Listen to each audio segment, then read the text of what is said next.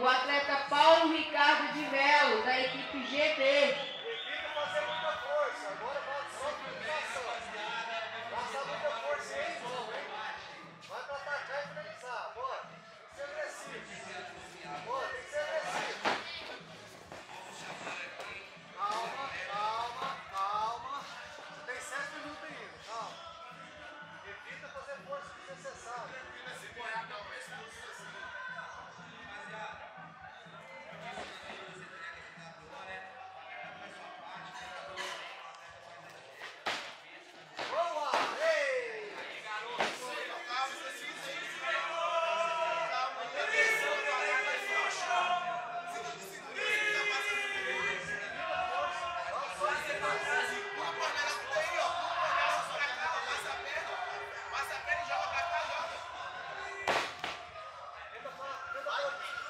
Põe os dois joelhos no chão.